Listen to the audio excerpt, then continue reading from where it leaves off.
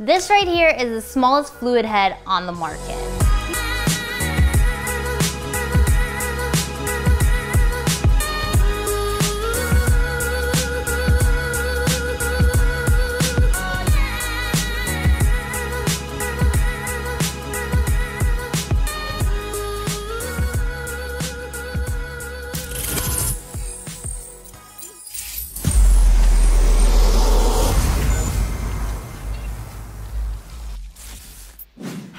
Welcome back AFAM. For those of you who are new, my name is Kitty and on this channel I do gear reviews and if you're new here I would love to know where you're from with a comment below. Manfrotto Befree Fluid Head Basic Stats.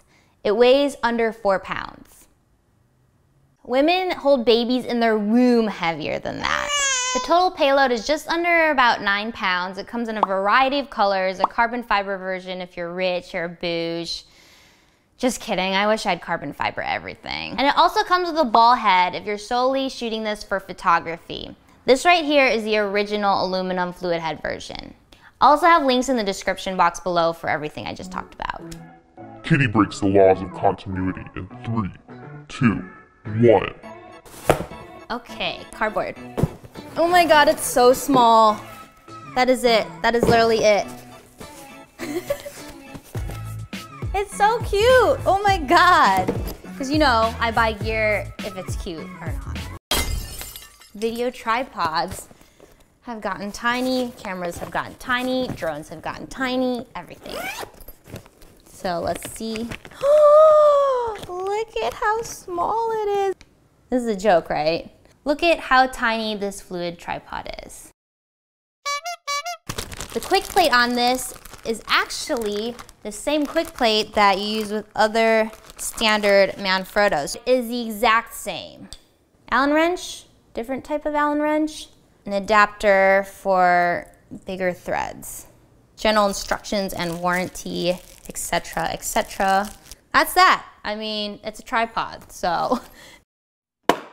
I bought the Benro S2 video tripod for the same reasons I bought the Befree.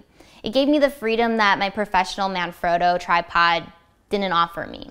However, the Benro is not fluid.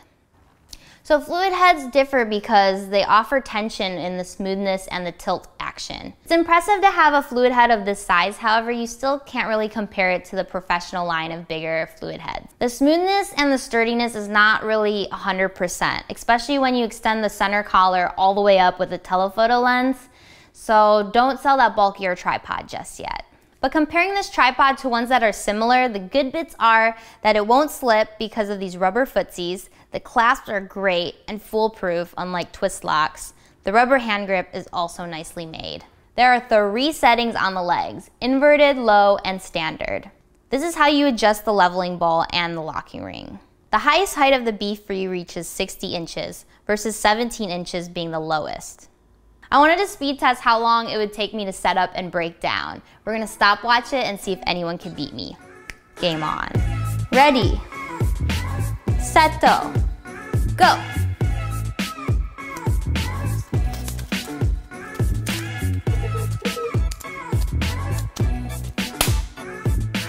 25 seconds, 25, boom.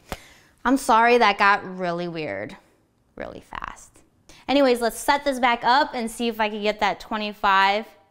I doubt it because breaking down is just so much easier, but we'll give it a shot. Ready, set, go.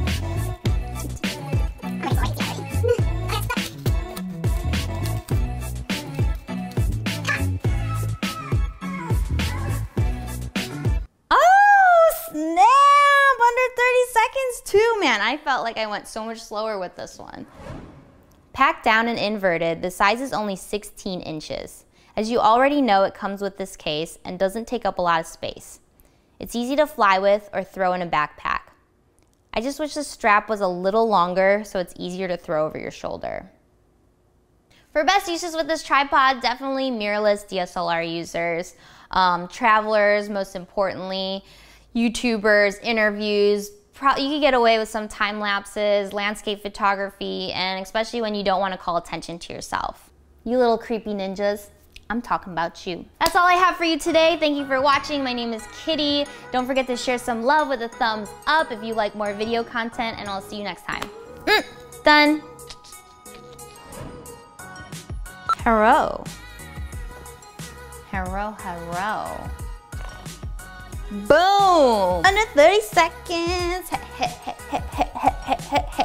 Okay, let's not do that. Let's not do that, shall we? It's not that type of channel.